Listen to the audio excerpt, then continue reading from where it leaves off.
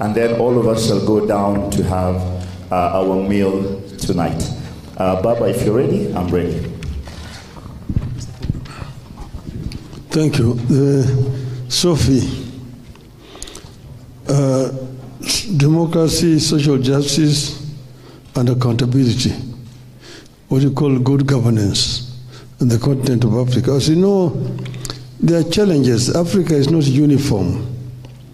There are countries which are much advanced at different stages.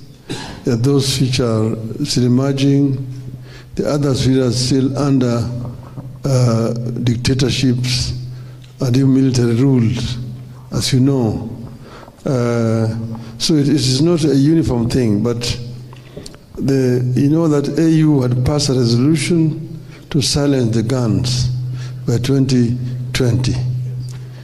That was basically just a wishful thinking. Because you know, guns are still very much allowed. You go to the Sudan, you go to Somalia, you go to many places, guns are still very much there. What we want to do is first to ensure that these conflicts which are within the continent are resolved. There is a fund called the African Peace Fund, but not much has been put into that fund. When I go there, I want to ensure that African that peace fund is increased, and that we have also a standing force that will help to enforce peace within the continent.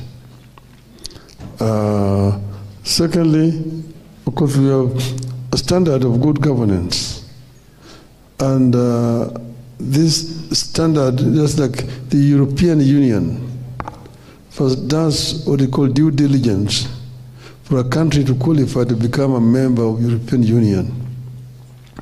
This uh, is, is, something that needs to be done even within Africa so that we have a, a common standard that all these countries are aspiring to achieve so that there is uh, what you call freedom of speech, freedom of expression, and also there's social justice within these countries, and you deal with issues of accountability.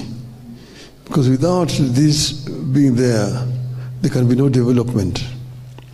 You can have all the good plans, but if you don't have proper institutions and proper structures within the country, there will be a problem. There is uh,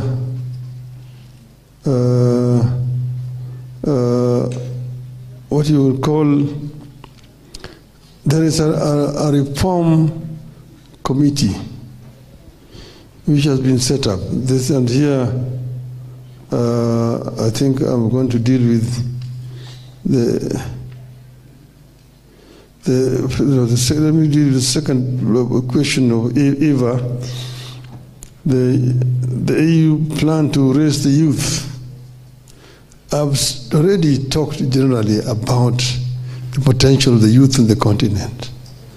And I've, I've said that uh, we need to empower the youth by first imparting knowledge and uh, um, technology on the youth so that the youth are properly empowered uh, to uh, be able to realize their potential.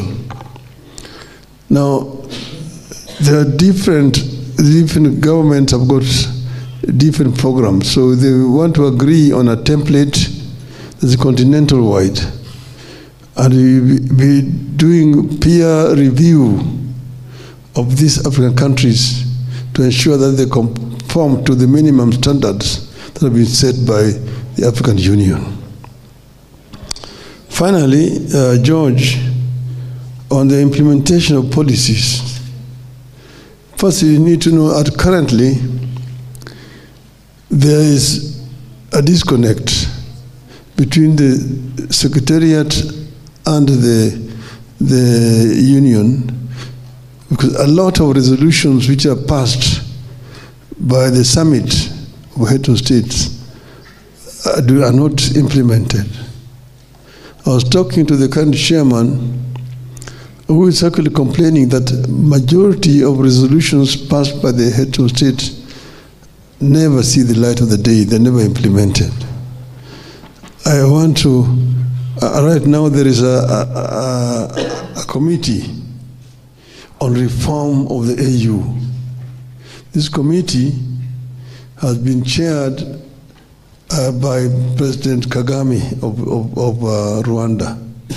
But now this chair has actually passed on to Kenya, the Kenyan president. I believe that this committee will come up with the proper reforms that will ensure that African Union structure is brought almost in conformity with that of the European Union. And that will make it much easier to ensure that resolutions that are passed by various organs of AU actually are implemented fully. This is what I intend to do. And that will make AU a much more efficient and effective institution. Thank you.